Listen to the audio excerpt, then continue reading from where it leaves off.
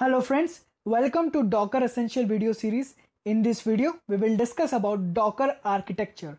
In last Docker video, we have discussed about differences between a virtual machine and a Docker container. To get to know more about it, check out the link in the description below. To get understanding of wide range of technologies in a simple manner, click the subscribe button and hit the bell icon. Docker uses a very common client-server architecture, which comprises of three major components, Docker client, Docker daemon, and Docker registry.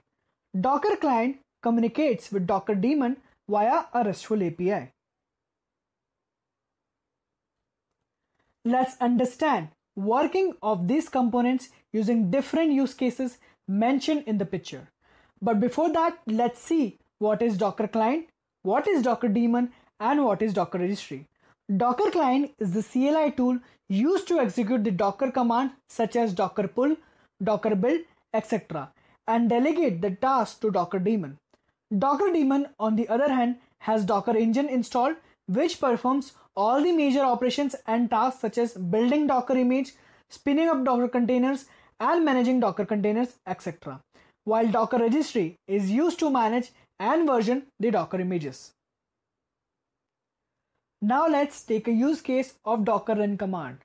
Bob as a developer wants to spin up the docker container having Tomcat application server installed.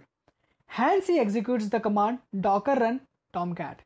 In the background, Docker CLI communicates the operation of running the Tomcat Docker container to the Docker daemon.